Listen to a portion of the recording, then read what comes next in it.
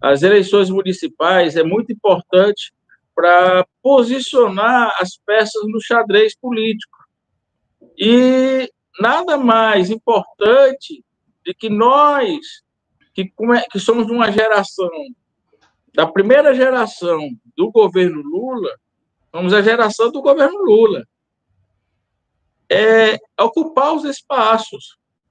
Porque todo mundo reclama de rumos do, do, do governo e tudo, mas quem tem que tomar iniciativa e mexer as peças do tabuleiro somos nós.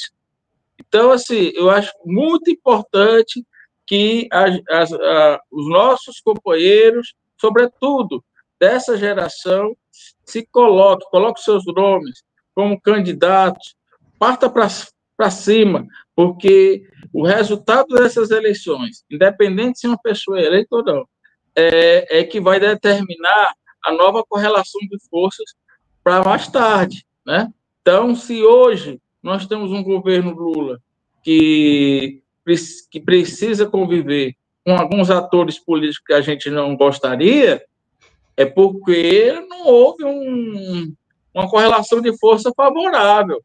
Ao invés de, de, de só lamentar, vamos mexer essas peças do tabuleiro. E as eleições municipais estão tá aí para isso.